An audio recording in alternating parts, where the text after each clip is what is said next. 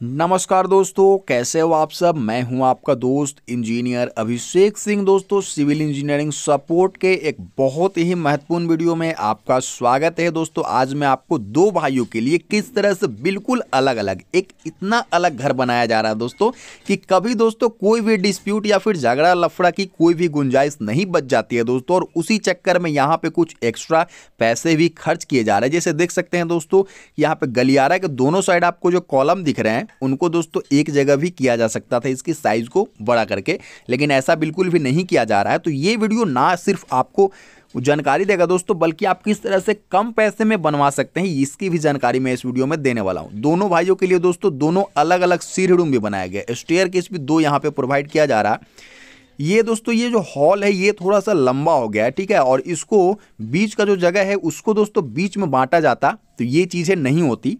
और यहाँ पे एक सीढ़ी रूम दोस्तों बनाया जा रहा है। ये घर जिस तरह से ऊपर की तरफ़ उठेंगे दोस्तों, आपके लिए मैं वीडियो लगातार लाऊँगा ताकि जो कुछ इसमें गलती हो रही है वो भी आप सीख पाएँ और जो कुछ अच्छा इसमें काम हो रहा है वो भी आप दोस्तों आप तक मैं पहुँचा सकूँ ताकि आप जब अपने लिए घर बनवाएँ, चूँकि इस तरह के केस बहुत आते हैं कि दो भाइयों के लिए घर चाहिए, दो भाइयों के लिए नक्शा चाहिए तो आप इस चीज़ से बहुत कुछ सीख सकते हैं। जो बेडरूम का प्लान है दोस्तों, एक नॉर्मल बेडरूम है और यहाँ पे एक मास्टर बेडरूम आपको देखने को मिल रहा होगा, जिसमें दोस्तों आप देखेंगे वहाँ पे लास्ट में एक वार्ड्रोब है और यहाँ पे एक कॉमन टॉयलेट कम बाथरूम है। दोस्तों, ये अटैच बाथरूम नहीं है, इस रूम के लिए भी यहीं पे इस्तेमाल होगा, इसलिए कॉमन टॉयलेट कम बाथरूम इसमें बनाया जा रहा है।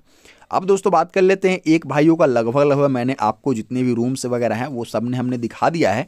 और कॉलम का दोस्तों पोजीशन आप चेक कर सकते हैं और यहाँ पे देख सकते हैं कि ये सीढ़ी है दाहिने साइड में और ये जाने का रास्ता है और यहाँ से आप देखेंगे दूसरे भाई का यहाँ पे घर स्टार्ट होता है। ये बिल्कुल एक ही प्लॉट में दोस्तों, बिल्कुल इतना सेपरेट घर बनाया जा रहा है कि कोई भी आगे चल करके कोई दिक्कत वगैरह ना हो। तो यहाँ पे भी एक मास्टर बेडरूम है, जैसा कि आपने पहले वाले फ्लैट में देखा था। तो यहाँ पे ये देख सकते हैं कॉमन टॉयलेट कम बाथरूम है, वार्ड्रोब है, सेम उसी तरह से ये घर बनाया जा रहा है, जैसे कि पहले भाई के लिए मैंने आपको दिखाया था। एक ही प्लॉट है दोस्तों, लेकिन दोस्तों जो कॉलम है, उनको अगर कंबाइन कर दिया जाता तो इनका पैसा भी बचता और साथ ही साथ दोस्तों घर में स्पेस भी काफ़ी अच्छा खासा बच सकता था। दोस्तों, ये इनका हॉल है। अभी देख रहे हैं, काम यहाँ पे चल रहा है। हॉल के बगल में सीरो रूम बनाया जा रहा है।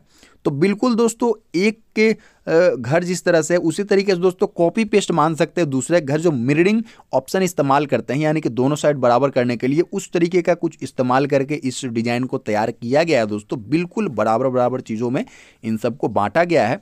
और आप देख सकते हैं कुछ इस तरीके से यहाँ पे एक सीढ़ी रूम आपको देखने को यहाँ पे मिल रहा है, मैं आपको दिखा रहा हूँ। ये देखिए, ये हुआ इस घर का सीढ़ी रूम ठीक है? तो बस कॉलम का पोजीशन दोस्तों, मुझे थोड़ा सा इसमें बदलाव किया जा सकता था।